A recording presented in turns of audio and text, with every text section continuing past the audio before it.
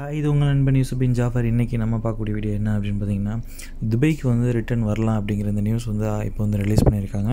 இது எல்லாருக்குமே மோஸ்ட்லி எல்லாத்துக்குமே தெரிஞ்சிருக்கும். இங்கே என்னென்ன ப்ரொசீஜர் ஃபாலோ பண்ணுறாங்க எப்படி வரணும் அப்படிங்கிற சின்ன டீட்டெயில் தான் இந்த வீடியோவில் வந்து சொல்ல போகிறேன் மறக்காமல் ஃபுல்லாக வீடியோ பாருங்கள் மறக்காமல் வந்து சப்ஸ்கிரைப் பண்ணுங்கள் national emergency crisis and disaster management authority வந்து ஃபஸ்ட் அனௌன்ஸ்மெண்ட் பண்ணியிருக்காங்க. ஆறு கண்ட்ரியில் உள்ளவங்க வந்து யூஏக்கு வரலாம் ரெசிடென்ஸ் விசா வச்சிருந்தீங்கன்னா நீங்கள் யூஏக்கு வரலாம் அப்படின்னு சொல்லிட்டு அனௌன்ஸ்மெண்ட் பண்ணியிருக்காங்க. எந்தெந்த கண்ட்ரிக்கு வந்து அலோட் பண்ணியிருக்காங்க பார்த்தீங்கன்னா India Pakistan Sri Lanka Nepal and Uganda Nigeria வந்து அனௌன்ஸ் பண்ணியிருக்காங்க.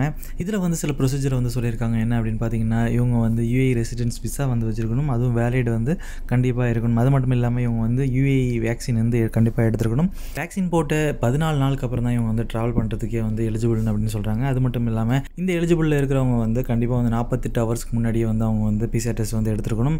இந்த பிசிஆர் டெஸ்ட் எடுத்தது மட்டும் இல்லாமல் அவங்க வந்து ஐசி அப்ரூவலும் கண்டிப்பாக வந்து எடுத்துருக்கணும். அந்த ஐசி அப்ரூவல் எப்படி எப்படி எடுக்கணும் அப்படிங்கிற எல்லா டீட்டெயிலையும் வந்து இந்த வீடியோ லாஸ்ட்டில் வந்து நான் உங்களுக்கு தரேன். அது மட்டும் இல்லாமல் இந்த பிசிஆர் டெஸ்ட் எடுத்தது மட்டும் இல்லாமல் ஐசி அப்ரூவல் மட்டும் இல்லாமல் நீங்கள் ஏர்போர்ட் போகிறப்ப வந்து அங்கே வந்து ரேபிட் டெஸ்ட் ஒன்று எடுப்பாங்க. அது மட்டும் இல்லாமல் அங்கேருந்து ஏறின பிறகு இங்கே ஃப்ளைட் வந்து இறங்கின பிறகு யூஏயில் வந்து ஒரு ரேபிட் டெஸ்ட் கண்டிப்பாக எடுப்பாங்க.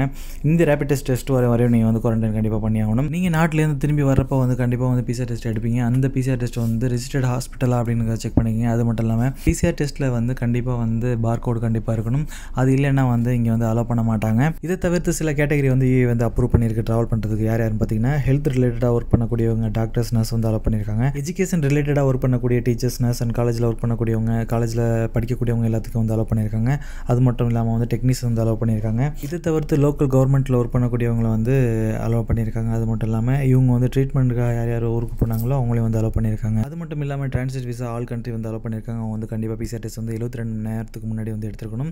இவங்க யூஏக்கு வரப்போ வந்து ஒரு ரேபிட் டெஸ்ட்டும் அவங்க வந்து யூஏ வந்த பிறகு ஒரு ரேபிட் டெஸ்ட்டும் கண்டிப்பாக வந்து எடுப்பாங்க. யூஏ விசா வேலிடிட்டி வந்து முடிஞ்சவங்க இந்த நாலு மாதத்தில் முடிஞ்சவங்க திரும்பி உள்ளே வரலாமா அப்படிங்கிறதுக்கு எந்த ஒரு அப்டேட்டுமே கிடைக்கல. அது மட்டும் இல்லாமல் பதிமூணு வயசுக்கும் கீழே உள்ளவங்க குழந்தைகளுக்கு வந்து யாருக்குமே ஒரு டோஸ் போட்டிருக்க மாட்டாங்க. அவங்க வந்து யூஏக்கு வர முடியுமா அப்படின்னா அதுக்கும் எந்த ஒரு அப்டேட்டும் இல்லை. ஃபஸ்ட் டோஸ் வந்து இங்கே போட்டுட்டு ஊருக்கு வந்து எமர்ஜென்சிக்கு போனவங்க வந்து ரிட்டன் வர முடியாமல் இருந்திருப்பாங்க. அவங்க வந்து ஊரில் வரலாமா அப்படின்னா அதுக்கும் எந்த ஒரு அப்டேட்டும் இல்லை. கடைசியாக வந்து businessman investor golden visa silver visa உள்ளவங்க வந்து கண்டிப்பாக எப்போதும் போல் அவங்க வந்து வரதுக்கு அலோவ் பண்ணுறாங்க இப்போ வந்து நம்ம பார்க்கக்கூடியது என்னன்னா ட்ராவல் புக்கிங் பற்றி தான் பார்க்க போகிறோம் இப்போ வந்து ரீசெண்டாக வந்து எமிரேட்ஸில் வந்து அனௌன்ஸ் பண்ணியிருக்குது என்ன அப்படின்னா ஃபஸ்ட்டு சிக்ஸ் கண்ட்ரி இல்லையா?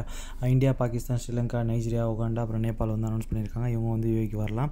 டிரான்சிட் மூலியமாக போகக்கூடியவங்க எங்கெங்கே போகலாம் அப்படின்னு பார்த்தீங்கன்னா ஆப்கானிஸ்தான் பங்களாதேஷ் இந்தோனேஷியா அப்புறம் வந்து South Africa and Vietnam and Zambia. அவங்க மட்டும் தான் வந்து யூஏ மூலியமாக வந்து வேறு நாட்டுக்கு வந்து போக முடியும் அப்படின்னு சொல்லிட்டு எமிரேட்ஸ் வந்து ரீசெண்டாக வந்து அப்டேட் பண்ணியிருக்காங்க. இதோட புக்கிங் வந்து எப்படி போயிட்டு இருக்கு அப்படின்னு பார்த்தீங்கன்னா இப்போ வந்து மூணு நாலு அஞ்சு ஆறு இந்த டேட்டில் வந்து எந்த ஃப்ளைட்டுமே அவைலபிள் கிடையாது.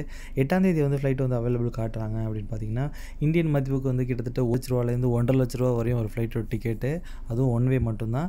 அந்த டிக்கெட் டிக்கெட் வந்து இப்போ வந்து ரிலீஸ் பண்ணியிருக்காங்க ஸோ உங்களுக்கு வந்து புக் பண்ணணும் அப்படின்னு நினச்சினா கண்டிப்பாக வந்து எட்டாம் தேதிக்கு அப்புறம் வந்து நீங்கள் புக் பண்ணிக்கோங்க. இப்போ வந்து ஐசிஏ அப்ரூவல் எப்படி எடுக்கிறது அப்புறம் வந்து ஜிடிஆர்எஃப் அப்ரூவல் வந்து எப்படி எடுக்கிறது அப்படிங்கிறது வந்து ஃபுல்லாக வந்து இந்த வீடியோவில் வந்து சொல்கிறேன் கண்டிப்பாக கண்டினியூவாக பாருங்கள் லாஸ்ட் வரையும் பாருங்கள் அப்போ தான் உங்களுக்கு வந்து கிளியராக வந்து புரியும். டிஸ்கிரிப்ஷனில் ரெண்டு லிங்க் கொடுத்துருக்கேன். ஐசி அப்ரூவல் லிங்க் அப்புறம் வந்து ஜிடிஆர்எஃப் லிங்க் வந்து கொடுத்துருக்கேன். ஸோ அந்த லிங்க்கை வந்து ஐசி அப்ரூவல் கிளிக் பண்ணிங்கன்னா இந்த வெப்சைட் வரும். இந்த வெப்சைட்டில் வந்து நீங்கள் வந்து ஃபஸ்ட்டு உள்ளே பந்தவனை வந்து ஃபஸ்ட்டு பார்க்கக்கூடியது என்ன அப்படின்னா சர்வீஸ் டிஸ்கிரிப்ஷன் அதில் என்ன சொல்லியிருக்காங்கன்னா ரெசிடென்ஸ் வேலிட் உள்ளவங்க மட்டும் தான் வந்து உள்ளே வரலாம். அப்படிங்கிற மாதிரி கொடுத்துருக்காங்க. இங்கே வார்னிங் நோட்டீஸும் கொடுத்துருக்காங்க. என்ன அப்படின்னா பாஸ்போர்ட் நம்பர் டைப் பண்ணுங்கள் என்ன யார் அப்படின்னு பார்த்தீங்கன்னா வேலிட் ரெசிடென்ஸ் வச்சிருக்கக்கூடியவங்க மட்டும்தான் இதில் வந்து என்டர் பண்ணணும் அப்படின்னு சொல்லியிருக்காங்க. ஃபஸ்ட்டு வந்து எம்எல்சிடி வந்து நம்பர் கேட்டிருக்காங்க. அதுக்கப்புறம் வந்து பாஸ்போர்ட் நம்பர் கேட்டிருக்காங்க. அப்புறம் வந்து பாஸ்போர்ட் டைப் கேட்டிருக்காங்க. பாஸ்போர்ட் டைப்புக்கு வந்து எப்போதுமே நார்மலாக எல்லாமே கொடுக்குறது என்ன அப்படின்னா ஆர்டினரி பாஸ்போர்ட் மட்டும் தான் கொடுப்பாங்க. ஸோ ஆர்டினரி பாஸ்போர்ட்டை நீங்கள் வந்து கொடுத்துருங்க. என்ன மோஸ்ட் ஆஃப் த பர்சன் வந்து ஆர்டினரி பாஸ்போர்ட் தான். நீங்கள் எந்த நேஷனாலிட்டி அப்படிங்கிறத வந்து கிளிக் பண்ணுங்கள் அதுக்கப்புறம் வந்து ஐம் நாட் ரோபோட் அப்படிங்கிற அந்த செக் பட்டனை வந்து கிளிக் பண்ணிவிட்டு செக் கொடுத்தீங்க அப்படின்னா ஐசி அப்ரூவல் வந்து கண்டிப்பாக கண்டிப்பாக வந்து கிடச்சிரும். இந்த ஜிடிஎஃப்ஐ வெப்சைட் வந்து கீழே வந்து டிஸ்கிரிப்ஷனில் கொடுத்துருக்கேன். இந்த டிஸ்கிரிப்ஷனில் இருக்கக்கூடிய லிங்க்கை வந்து கிளிக் பண்ணிங்கன்னா இந்த வெப்சைட் வந்துடும் இந்த வெப்சைட் உள்ளே வந்தோடனே வந்து அரபியில் காட்டும். மேலே இருக்கக்கூடிய இங்கிலீஷுங்கிற அந்த பட்டனை வந்து கிளிக் பண்ணிங்கன்னா ஆட்டோமேட்டிக்காக எல்லாமே வந்து இங்கிலீஷாக மாறிடும்.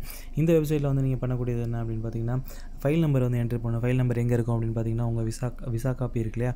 அந்த காப்பியில் வந்து யூஐடி நம்பர் இருக்கும் இல்லை ஃபைல் நம்பர் இருக்கும். அந்த நம்பர் வந்து என்ட்ரு பண்ணுங்கள் கீழே வந்து டேட் ஆஃப் பர்த் இருக்கு இல்லையா? அந்த டேட் ஆஃப் பர்த் வந்து உங்களுக்கு கண்டிப்பாக வந்து எந்த இயர் அப்படிங்கிறத என்ட்ரு பண்ணுங்கள் அது மட்டும் இல்லாமல் வந்து எந்த நேஷனாலிட்டி அப்படிங்கிறதையும் என்ட்ரு பண்ணுங்கள் ரிசர்ச் கொடுங்க.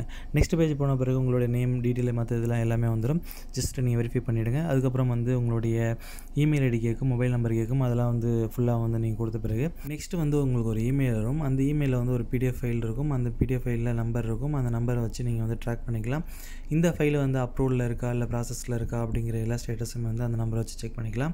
அது மட்டும் இல்லாமல் இமிக்ரேஷனில் ஒன்ஸ் அப்ரூவ் பண்ணாங்கன்னா உங்களுக்கு வந்து ரிட்டன் இமெயில் அனுப்புவாங்க. அந்த இமெயிலில் வந்து அப்ரூவ்டு ஜிடிஆர்எஃப்ஐ ஃபைல் இருக்கும். அதை வச்சு நீங்கள் வந்து ட்ராவல் பண்ணலாம். இந்த வீடியோ கண்டிப்பாக உங்களுக்கு பிடிச்சிருக்குன்னு நம்புகிறேன் மறக்காமல் வந்து ஃப்ரெண்ட்ஸ் அண்ட் ரிலேட்டிவ்க்கு அனுப்புங்க. மறக்காமல் வந்து சப்ஸ்கிரைப் பண்ணுங்கள் இந்த வீடியோவில் எதுவும் உங்களுக்கு டவுட் இருந்துச்சுன்னா கண்டிப்பாக வந்து கீழே வந்து கமெண்ட் பண்ணுங்கள் மீண்டும் வேறு வீடியோவில் சந்திப்போம்.